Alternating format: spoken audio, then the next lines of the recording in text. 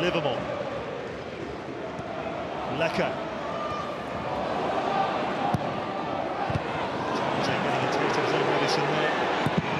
Livermore blocked by Puncheon. Lecker. Townsend did really well in the second attempts. Pinched it back. Takes it on. Lecco's gone to ground. It's two on two here for Palace. Benteke on the far side. Still Townsend. And he's made it 2 0 and surely killed the game. Well, it's a wonderful, wonderful result for Crystal Palace.